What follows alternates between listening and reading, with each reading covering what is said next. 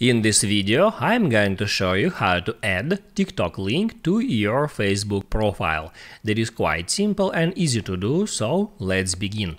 And first, open up TikTok app, then right here hit add profile icon to open up your profile and then just underneath your profile picture you can easily find your username, you can hold down on it for a second and then it says that username. Copy it to your clipboard, now you can hop out TikTok and open up Facebook app.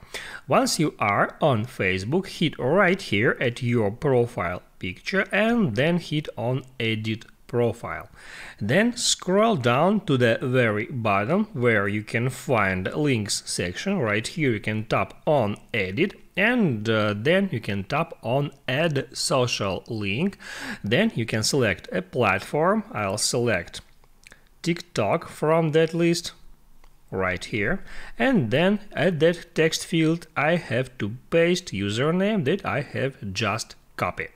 Now all I have to do is hit on done and then hit on save to add TikTok link to my Facebook profile. Now I can hit on save changes and right here as you can see I got new link to my TikTok profile. I hope it helps you guys, so don't forget to like and subscribe.